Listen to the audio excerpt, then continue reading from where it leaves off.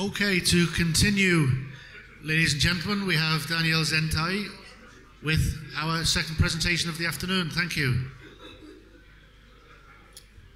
Okay, welcome everyone. Uh, my name is Daniel Zentai, and uh, I'm the head of cryptography research at uh, Xtendr.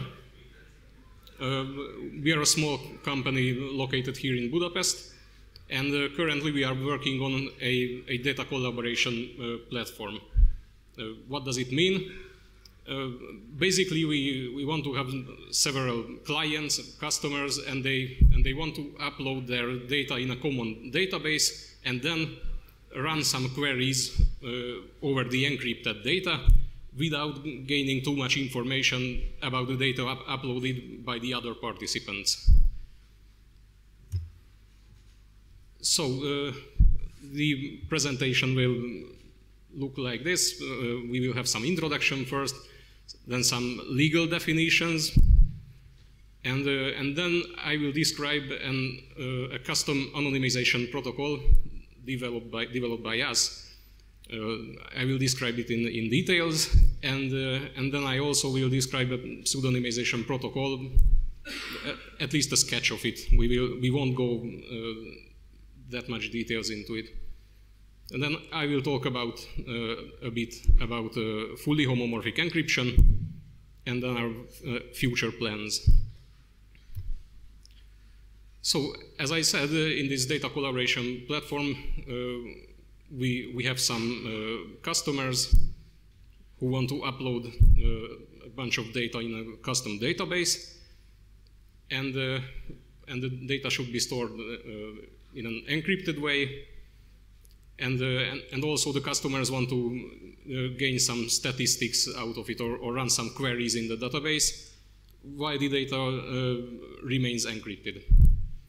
So potential use cases could be gaining statistics out of medical records without knowing the identity of the, the patient or or uh, fraud detection in, in, in, insurance companies to detect double claims. But if nobody does any suspicious, we, we, do, we don't want to know about the, the, the clients of the other uh, insurance companies.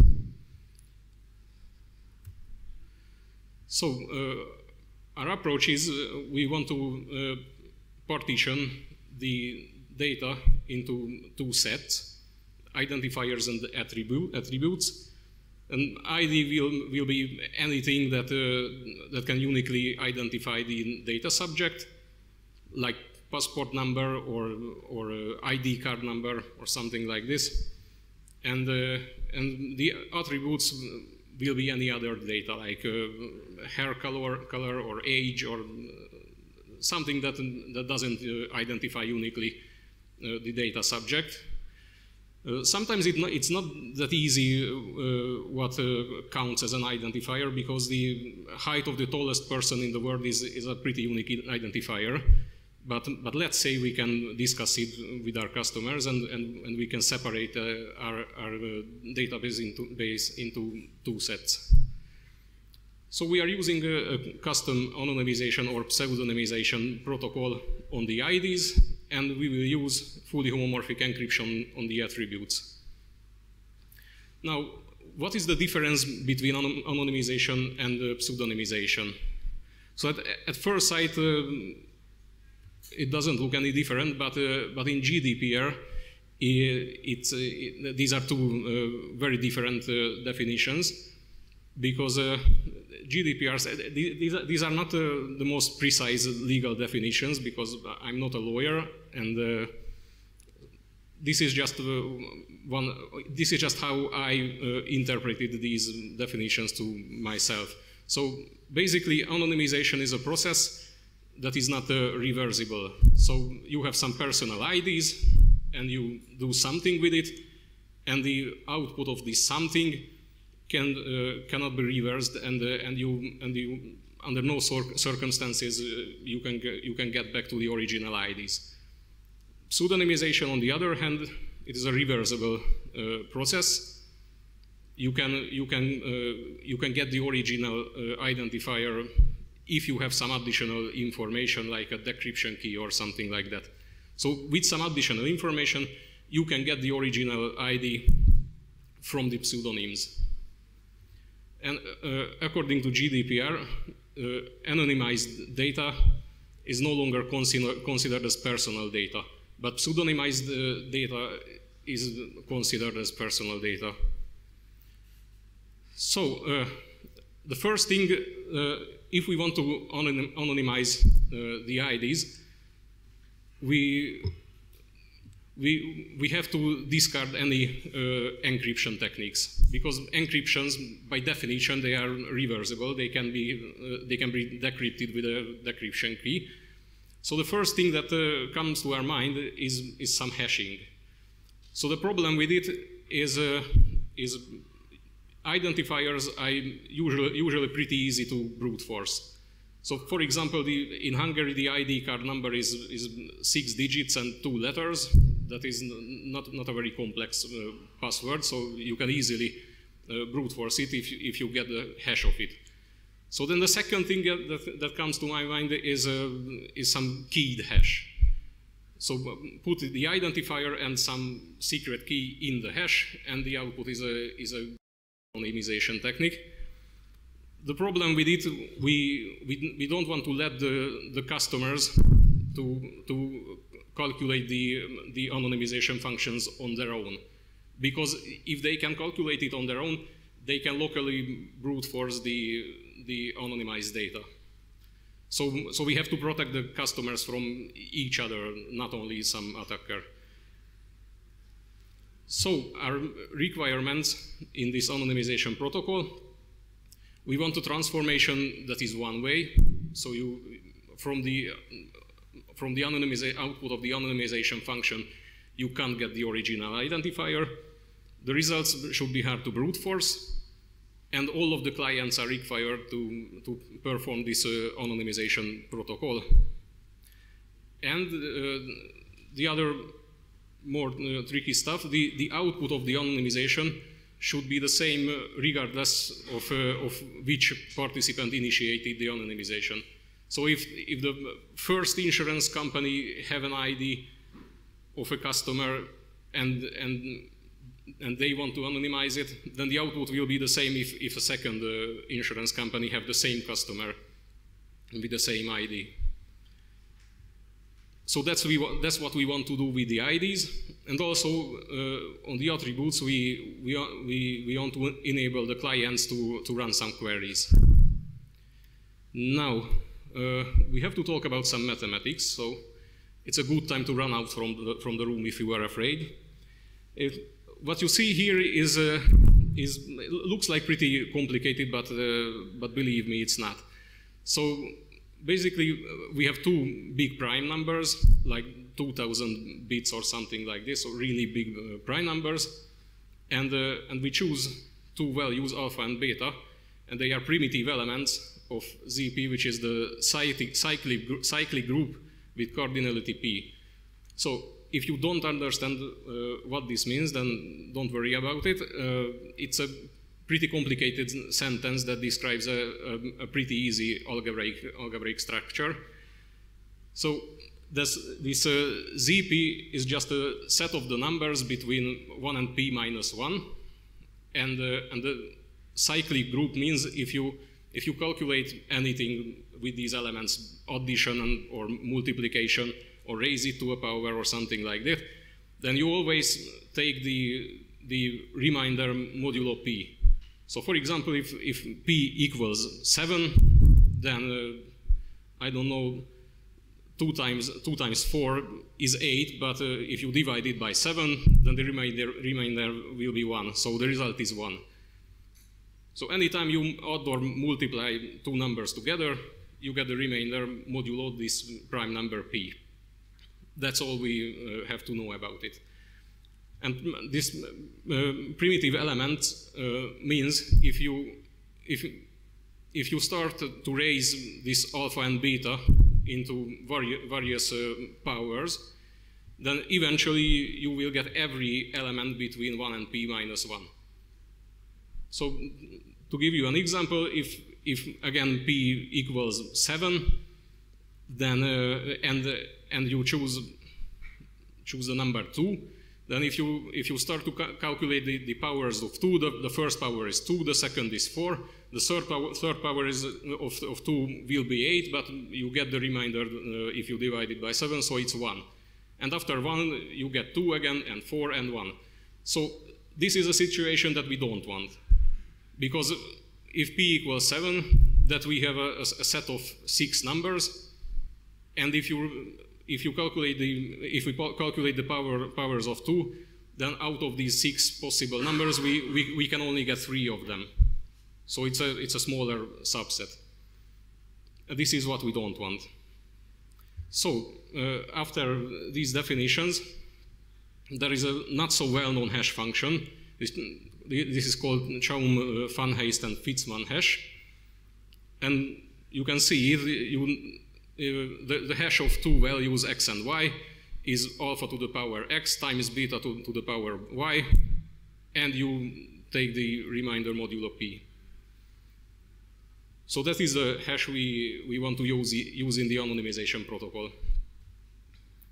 Uh, this is not a well-known hash, uh, not because it's not secure. It's it's it's uh, it's, coll it's collision resistant if the discrete logarithm logarithm problem is hard, but uh, it's it's much less efficient than than the more widely used uh, used hash function like the SHA family. So it, it's a bit slower. Now, how, how does our anonymization protocol work? So we have a set of participants. Let's call them P1, P2, and Pn. And we have a server. Let's call it S. And suppose that a client, for example, P1 wants to anonymize an identifier. So P1, uh, all, all, clients generate uh, two random secret keys these are uh, x, i, and y, y sub i. So uh, these are two private keys for private keys for all of the participants. And if the server receives an, an upload request from from the from from the, from the participant P1, then the server generates n different random numbers and uh, and sends the encrypted version of it to the participants. Uh, with the uh, private key, uh, sorry, the public key of that particular participant. So this part is, is not for the anonymization. This is just a simple challenge response protocol because the, the server sends out the random values, and, and the, if all of the random, random values uh, came back to the server, then the server can be sure that uh, everybody participated in the computation, and that's what we want. So the, this part is just a challenge response. This is not for anonymization. What, what the anonymization part is about uh, is the, the first participant calcu calculates the, the hash of uh, x1 plus the ID and y1. So this is the, the hash of the first participant. The, the, the, first participant includes into the hash his, uh, his private keys and the ID and sends it to the second participant. Every other participant multiply the, the value that he, that he received from the previous participant, multiply it with his own uh, hash value. So if participant number 7 will multiply the, the product of the first six value with, uh, with h of uh, x7, y7. That's what they do. And the last participant will, will send this value to the server. And this value is the multiplication, multiplication of, of uh, every participant's hashes. And because the hash is calculated uh, this way that I show you, so the hash is just a multiplication, then uh, regardless of uh, who initiated the, the anonymization, the final result is if you multiply all these values together, the final result will be the same, denoted by uh, hn. So the, the exponent uh, uh, in, in the uh, alpha base will be id plus the sum of x's, and the exponent of beta will be the sum of y, uh, y's, regardless of uh, who initiates the anonymization. Now, uh, we, we have a proof of concept uh, of this protocol, and the, the run, running time looks like this. Uh, it's, uh, it's not so good if, uh, if we have uh, many participants or, or many records that we want to anonymize, if we do it over ZP. But if we are using elliptic curves, this is much better. So if one, uh, two, two participants can run the protocol with, uh, with one data record in, uh, in 15 millis milliseconds. So it's, it's, it's okay. Not the fastest hash ever, but, but it's okay. So we are using elliptic curves. It, since the, the security of the hash relies on the discrete logarithm problem, then every algebraic, algebraic structure can uh, work uh, where the discrete logarithm problem is hard. So that's the anonymization part. Uh, I will say a few words about pseudonymization, just a few words because uh, we are not developing this yet. Because anonymization is, is, a, is a stronger technique. Pseudonymization, uh, the only case where it's important if you, if you want to recover the original data from the anonymized identifiers. But for pseudonymization, uh, we can use a, a, simple ElGamal encryption. ElGamal is a public key encryption based on the discrete logarithm problem. So it, it has a similar setup with the, with the cyclic groups. And uh, and the private key is, is, a, is, the exponent, and the public key is a primitive element raised to these exponents. And uh, every, every participant can, can have their own key, and if, and if they multiply, if they add, uh, add together the private keys, then uh, they have a master private key. That's why if, if they multiply the, pu the public keys together, they will have a master public key. So it, I, I, won't go any more details into it because this is not the first version of, uh, of our platform. We are, uh, we are not that far from uh, being finished with the, with the first version. Uh, as I said, we have, we have a, a working proof of concept and, uh, and it, it should be a, a finished uh, product in, in the next one or two months. But that's with the anonymization protocol. That's our first version. So I don't have too much time left, but uh, I, want, I want to say a few words about fully homomorphic encryption. Basically, it, full, FHE is, is a type of, type of encryption where you, you can uh, perform arbitrary computation on the ciphertext and the and the result the, if you if you decrypt the result it will be the same as if you perform this computation on the plain text. So the we are we are encrypting uh, the the attributes with fully homomorphic encryption and this way the participants can run queries on them without revealing the, the identities of, of the uh, data subject because the identities are, are not stored with fully homomorphic encryption, they are stored with the anonymization protocol. So the main problem with it is uh, it's a bit slower, not a bit, it's a lot slower than, uh, than the widely used encryption schemes, but uh, we are working on this one. So some future directions. Uh, we we want to have a, a version uh, where uh, where we can eliminate the, the server, so a decentralized version you may ask, uh, why don't we start with this one? Because from a security per, uh, perspective, the decentralized version is, is better than the centralized, ver centralized version. It's because of legal concerns. Because uh, if, if we have a centralized version, then every client have, to, have to sign a, a contract with only us. And in a decentralized version, everybody have to sign the contract with everybody else. So it's a from a legal, legal perspective, it's a much, much more complicated version. Uh, another future, future direction will be add the differential privacy into the system. Uh, differential privacy is a, is a technique where you sacrifice some, uh, some accuracy to gain some more privacy. For example, if, if the clients want to protect their data even from each other, and and they don't want to don't want the other participants uh, to know the exact uh, output of uh, of the of the queries, then they can add some carefully uh, chosen random noise into their data, and uh, and the output will be a somewhat accurate, but but not completely accurate answer. So uh, another future direction would be a, a, threshold protocol when not all the participants is, uh, are required to perform the computation, but, uh, but um, only a subset of them. Uh, we have a solution on paper that, uh, that works, but uh, it's a bit more complicated and, and I'm not sure it will be, it will be fast enough to, to do it in practice an even more interesting uh, future direction will be to make it a, a post-quantum algorithm, and uh, we we don't have too much idea about it. I mean, we have some idea, but uh, but it's not even close to being a, a finished product. And currently, we are uh, experimenting with uh, with some hardware accelerations of FHE because it's uh, it's pretty slow. So.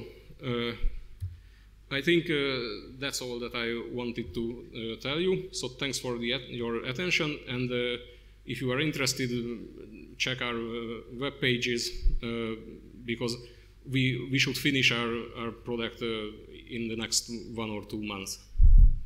So thank you very much. Thank you, uh, Daniel.